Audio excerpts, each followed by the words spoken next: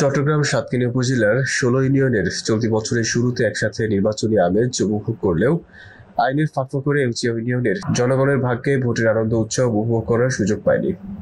এই পরিস্থিতিতে যেন সংখ্যাগরিষ্ঠতার দেশে সংখ্যালঘুদের অবস্থান। পরবর্তী সময়ে চলতি মাসের মাঝামাঝি সময়েও তারিখে সরকারিভাবে নির্বাচনী অনুষ্ঠানের ঘোষণা আসলেও আইনের থকি তাদের শেষে পৌঁছায়।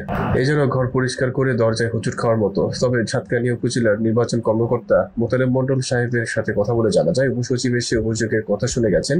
পরবর্তীতে বিচার সংশ্লেষণের মাধ্যমে নির্দেশ আসলে হেরজিয়া ইউনিয়নের পুনরায় নির্বাচন অনুষ্ঠিত হবে। নির্বাচন কমিশন পরবর্তী নির্দেশ না দেওয়া পর্যন্ত এই ইউনিয়ন পরিষদ নির্বাচনের তফসিলের উপরে স্থগিতাদেশ দিয়েছেন এর প্রেক্ষিতে নির্বাচন কমিশন কর্তৃক নিয়োজিত কর্মকর্তা গতকালকে শুনানি করে চলে গেছে। উপসচিব নির্বাচন কমিশনের উপসচিব জনাব আব্দুল হালিম হালিম স্যার। উনি তাহলে কোনো সিদ্ধান্ত দেন না কমিশন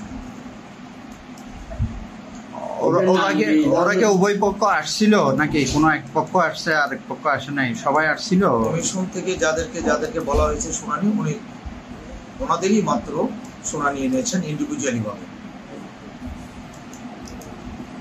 যাদেরকে সিটি ইস্যু করছে তারা তো অবশ্যই উপস্থিত ছিলেন মনে হয়। ছিলেন। Okay thank you